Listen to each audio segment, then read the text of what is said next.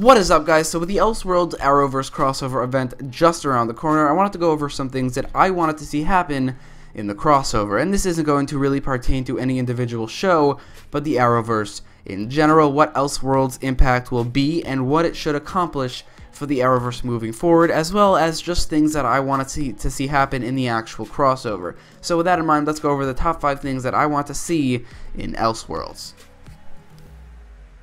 So, one thing this crossover is already doing that I wanted to see was introducing Superman to the rest of the Arrowverse and giving him a major role. And now that Superman is finally meeting characters like the Green Arrow, and more importantly for this video, the Flash, I think it would be incredibly awesome if we could see the iconic race between those two characters. Number 5 is a race between Superman and the Flash.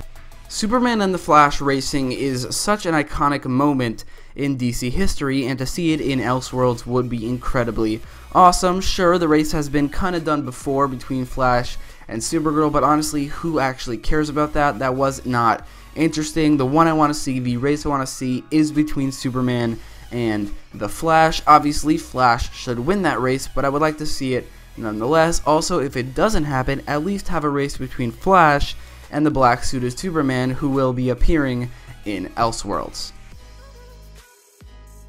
Another thing that this crossover is doing that I really wanted to see was confirming Batman's existence in the Arrowverse. Also, it will take place in Gotham City for at least one of the three episodes. Based off trailers, we know that Oliver Queen considers Batman to be this urban legend, even though he's never named him before. Barry Allen also knows about him, and through interviews, we know that Batman has been missing for three years.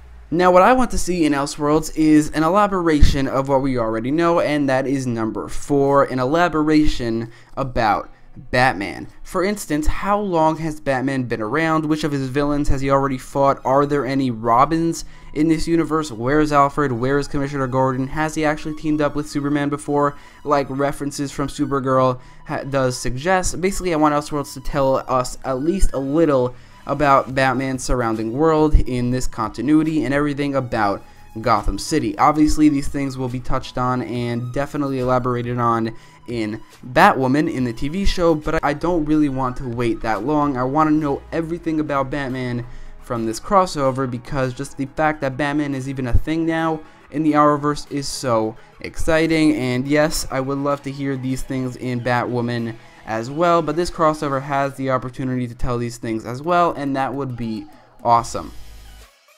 Every time a crossover rolls around since a guess invasion, there has been a team that is effectively the Arrowverse's Justice League, but they never were actually called the Justice League. In fact, they were never actually called anything, so what am I supposed to call them? Just the Arrowverse superhero team? That's a terrible name. Well, after what is effectively three missions as this team with Invasion, Crisis on Earth X, and now Elseworlds, I think that the team needs to be officially named, and there is no name as appropriate as the Justice League. Number three is Unite the Justice League.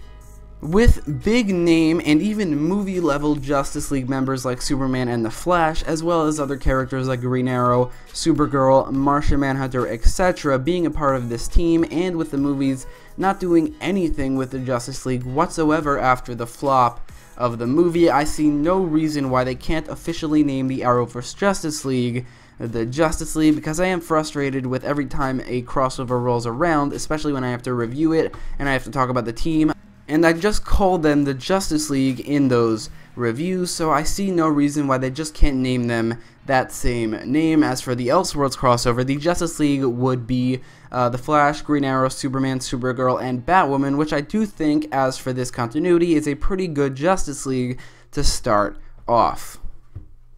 This crossover is officially a backdoor pilot setting up a Batwoman TV show, and I think it should do the same thing for another character. Out of all the characters in the Arrowverse, there is no character I would prefer for a spinoff show over Superman. I know a lot of people want a Deathstroke spinoff show, and yeah, that would definitely be my second choice, but Superman is definitely first, and I think Elseworlds could do the same thing they're doing for Batwoman for Superman. In fact, it's kind of already doing it. So number two, set up a Superman TV show. Before Elseworlds, Superman has only really appeared in four episodes of Supergirl. There's one extra episode if you count the episode where he appeared on a screen in the background and it was blurry. I do not count that. All four episodes are from season 2. One of them is also just one scene. So it is essentially three episodes and one scene. Now with the crossover event of Elseworlds, he will be appearing in three more episodes, essentially doubling his Arrowverse screen time, which is definitely developing him for something, and I think that could be a spin off show. On top of that, the Kent farmhouse is being established as a location in this crossover, and that could definitely be used as a location in a Superman TV show, and on top of that as well, Superman's main love interest, Lois Lane, has been cast as an actress named Elizabeth Tulloch and is appearing in Elseworlds. And although not in Elseworlds, Superman's main villain, Lex Luthor, is cast as well by an actor named Jon Cryer, but he is also appearing in Supergirl Season 4. On top of that, again, the movies are not using him because Henry Cavill left the role, so the CW is free to do whatever they want with the character. All of this means that Superman will be way more developed as the character after Elseworlds. They will have certain locations they could use for the show. They have the three main leads of the show in Superman being played by Tyler Hoechlin, Lois Lane being played by Elizabeth Tulloch, and Lex Luthor being played by Jon Cryer, as well as the CW having the freedom to do whatever they want with the character and the freedom to make this show, and I definitely think that they should, and I really hope they do. Also, if they do, I would be incredibly excited. So this crossover has some notable similarities to the big DC Comics event, Crisis on Infinite Earth, such as the inclusion of the characters of the Monitor and Psycho Pirate, as well as the focus on multiple universes, which we can tell from the title Elseworlds. And one thing that happened at the end of Crisis was the destruction of the multiverse, leaving only one universe, and I think they should do something similar, although not the exact same thing, in Elseworlds. Number one is combine Earth 1 and Earth 38. So the reason I say don't destroy the whole multiverse, even though I wouldn't be against it, I don't think the multiverse after this crossover and after the Earth X crossover, I don't think it serves any utility whatsoever now because they can't really do much with it, and I don't think they should, but the reason I say don't destroy it yet, at least, is because it just wouldn't fit the timeline. Because of the 2049 newspaper scene in The Flash Season 5, Episode 1, there's a part of it that shows Psycho Pirate, and that he says that during the 2024 crisis, which has been teased since the first episode of The Flash Season 1, Worlds died. He said that he has this temporal and multiversal awareness, so if something happened in the multiverse, he definitely knows. So if Worlds died in 2024, then it can't really destroy the multiverse in 2018. So I don't think they should destroy the multiverse. They could just be waiting to do that in 2024. But I do think the combination of the two main Earths, or 1 and Earth 38, would 100% be beneficial for the Arrowverse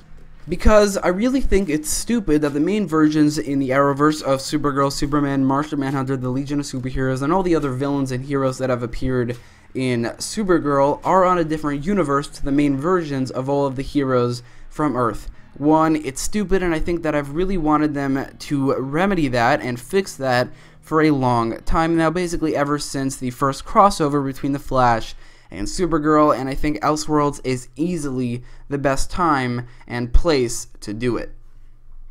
So those are the top 5 things that I want to see in Elseworlds. If you have your own list or if you agree with any of my picks, let me know in the comments down below. If you want to see more Elseworlds video, link will be in the top right corner to a playlist. And for the reviews of Elseworlds that will be going up after the Elseworlds crossover goes up, subscribe to this channel if you haven't already. And if you like this video, don't forget to leave a like, share, and subscribe. And thanks for watching.